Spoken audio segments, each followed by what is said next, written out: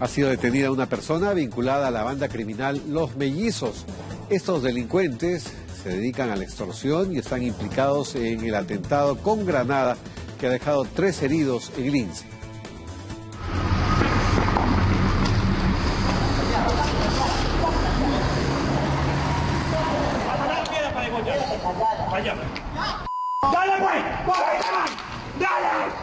Para la policía, esta agresión de una persona trans de nacionalidad venezolana contra otra persona trans de nacionalidad peruana tiene como contexto el enfrentamiento entre dos bandos que se disputan el control del cobro de cupos a trabajadoras sexuales en el distrito de Lince. Registra un sinnúmero de denuncias que están en vía de curso por la línea de extorsión. Edgar García Hernández, quien se hace llamar Amaranta, fue detenida en posesión de drogas. Está ligada a la organización criminal conocida como los Hijos de Dios, que es un remanente que está liderada en este momento por los conocidos, ya conocidos como meizos.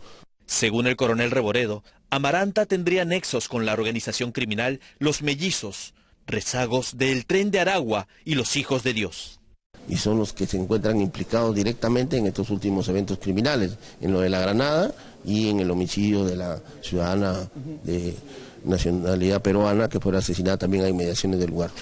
Amaranta tiene varias denuncias por agredir a otras personas trans de nacionalidad peruana en la avenida Petituars. En una de ellas, la denunciante señala que Amaranta le dijo que debía pagar los 300 soles semanales por la plaza.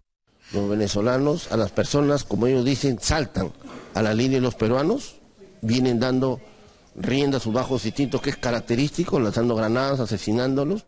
Para la Dirincri, los mellizos cobran cupos a los venezolanos, mientras que la organización Somos Nosotros a los peruanos.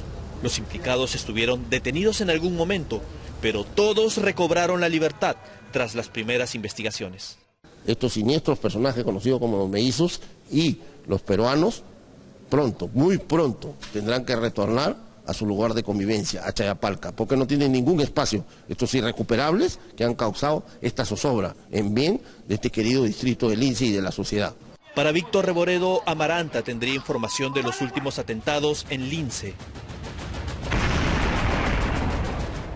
Tenemos identificado al vehículo que hizo el arreglaje antes del lanzamiento de la granada, diligencias que han motivado la intervención de este sujeto el día de ayer. Para la policía, esta detención podría ayudar a esclarecer los últimos hechos de violencia en Lince.